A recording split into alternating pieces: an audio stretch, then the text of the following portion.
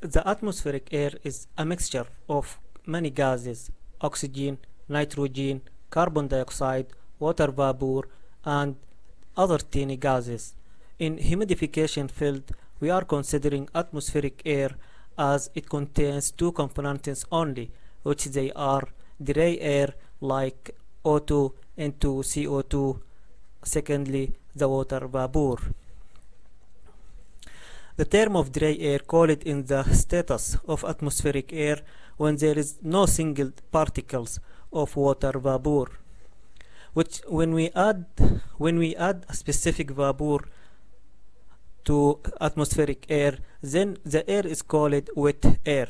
So humidification is a physical process which we increase the amount of vapor moisture in the specific volume of dry air the relative humidity RH is a percentage which gives us an index to know how much the atmospheric air may hold on more uh, amount of vapor or moisture.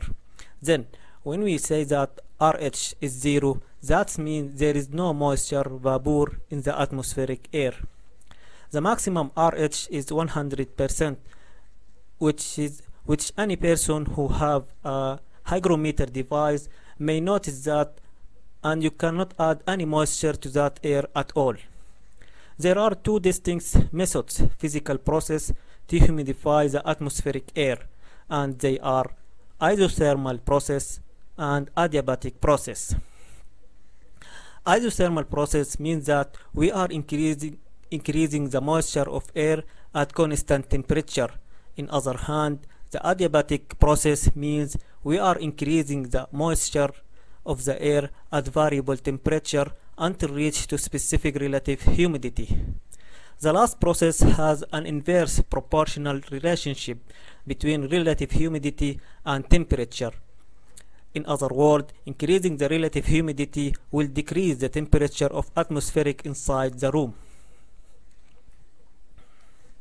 For this natural phenomenon and process, it has been named as evaporative cooling process. Evaporative as it as it makes the air humidi humidity as it makes the air humidity by evaporated the liquid water. Cooling as it makes a significant drop of temperature inside the area.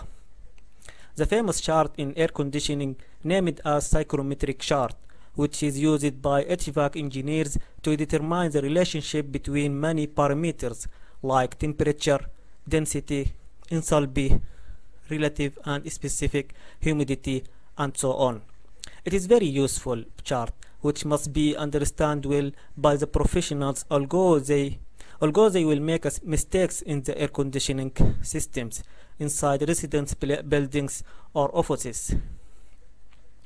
The right humidity makes a decisive contribution in a variety of situations encountered in day-to-day -day life, in the business environment, as well as in private premises.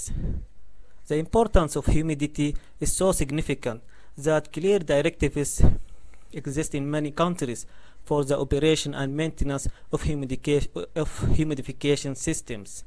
It is scientifically proven that a real sense of well-being can only be achieved in, narrow, in narrowly defined humidity range between 40 and 60 percent.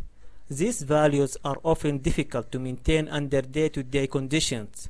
This is why we provide a comprehensive range of different humidification systems embodying a variety of technologies to ensure optimal air conditioning in every situation.